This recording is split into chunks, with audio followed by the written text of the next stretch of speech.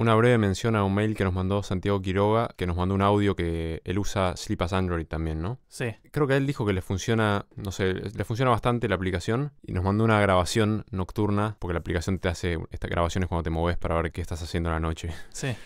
Pero lo que a mí más me llamó la atención es que la aplicación tiene una función que el, el despertador solo se apaga al leer un código QR específico. Entonces él, como le cuesta mucho levantarse a la mañana, se imprimió un código QR y lo pone en el baño. Entonces cuando suena la alarma, la única forma de apagarla es llevando el teléfono al baño y escaneando el QR. Claro. Lo cual me pareció muy ingenioso y muy divertido. Sí, está muy bueno. Creo que eh, hay gente que en ese estado de estar cómodo en la cama y no, y no querer despertarse a toda costa, por ahí serían hasta más ingeniosos que el QR.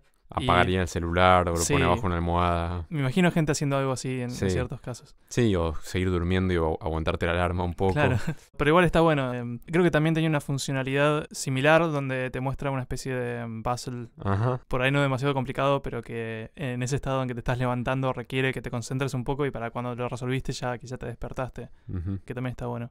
Y él nos mandó este audio de, de él durmiendo en donde se escuchan como unos pasos misteriosos. ¿Crees que lo pongamos? Bueno, podemos. Bueno, ahí va. Es cortito.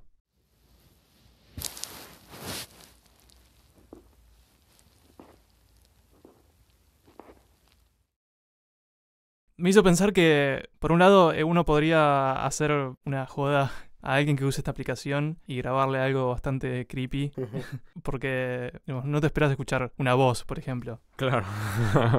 Y por otro lado, que creo, creo que es un muy buen recurso como para una pequeña historia de terror. sí, sí, sí, está bueno.